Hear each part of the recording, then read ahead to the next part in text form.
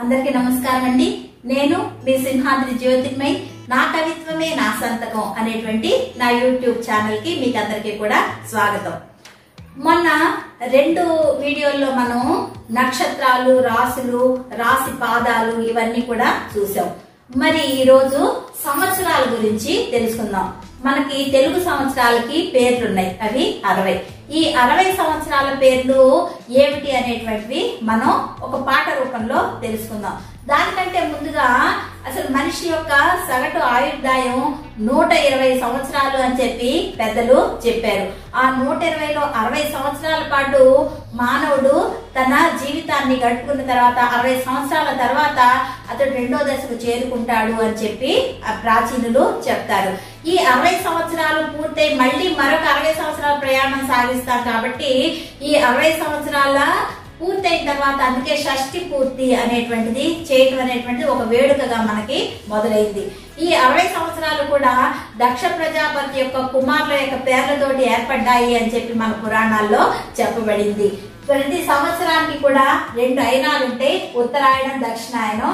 పన్నెండు మాసాలు ఉంటాయి చైత్రం నుంచి పాల్గొనడం వరకు. అలాగే ఆరు ఋతువులు మూడు కాలాలు నెలకి రెండు పక్షాలు ఉంటాయి కృష్ణపక్షం శుక్లపక్షం. అలాగే నెలకి నాలుగు వారాలు ఉంటాయి వారానికి ఏడు రోజులు ఉంటాయి అలాగే చూడండి రోజుకి ఎనిమిది జాములు ఉంటాయి జాముకి మూడు గంటలు. ఇంకా లెక్క ఉన్నది. ఇలాగ మనకి కాలాన్ని గురించి స్పష్టమైనటువంటి అవగాహన మన ప్రాచీన కావ్యాల్లో చెప్పబడింది.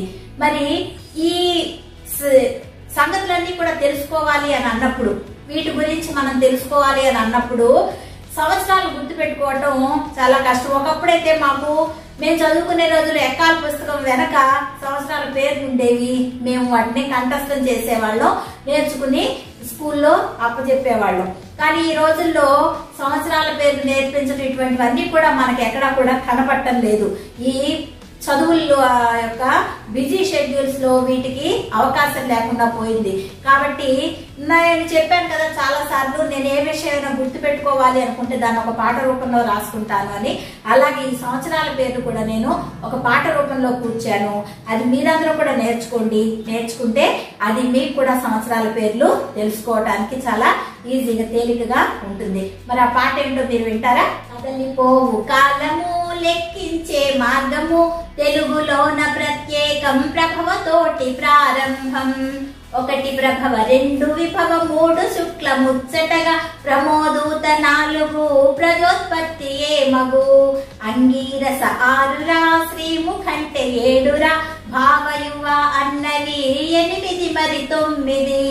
పది అంటే ధాతరా పదకొండే ఈశ్వర బహుధాన్య పన్నెండు ప్రమాదియే పదమూడు విక్రమ వృష చిత్రభాను పదిహేడే విను స్వభాను పద్దెనిమిది తారణ పంతొమ్మిది పార్థివ వ్యయ ఇరవై చిన్నారి సర్వజిత్ సర్వధారి విరోధి వికృతి ఖరనందన తదుపరి విజయ జయ మన్మథ విను దుర్ముఖి ఆమీద హే విలంబి విలంబి వికారి శార్వరి ముప్పది ఐదులోన ప్లవవచ్చును నాయన శుభకృతి శోభకృతి మీద క్రోధి తెలుసునా విశ్వావసు పరాభవ ప్లవంగా కీలక సౌమ్య సాధారణ చేయవలెను ధారణ విను నలభై ఐదులో విరోధి కృతి ఉంది కదా.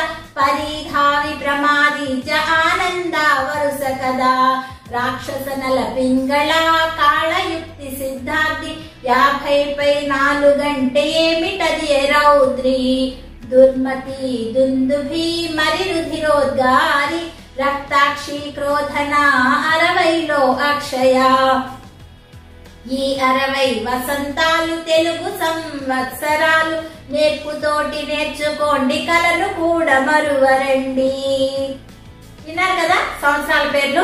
ఈ పాట మీకు నచ్చిందా? మీకు నచ్చినట్లయితే మీరు కూడా నేర్చుకోండి. అలాగే నా ఛానల్ సబ్స్క్రైబ్ చేసుకోండి. మీ అభిప్రాయం కామెంట్ సెక్షన్లో తెలియచేయండి లైక్ చేయండి. మీరు ఫ్రెండ్స్ తోటి షేర్ చేయండి. ఈ విధంగా అన్ని విషయాలు కూడా నేను నేర్పడానికి ప్రయత్నం చేస్తూ ఉన్నాను. మీ సపోర్ట్ ఉన్నట్లయితే ఇంకా నేను ఈ వీడియోల్ని చేయటం అనేటువంటిది మరిన్ని విషయాల మీద మీకు నాకు తెలిసినటువంటి జ్ఞానాన్ని పంచడానికి ప్రయత్నం చేస్తాను. మరి అంతవరకు వింటూనే ఉండండి నా మాటలు చూస్తూనే ఉండండి నా ఛానల్. మీ సింహాద్రి జ్యోతిర్మై నా కవిత్వమే నా సొంతం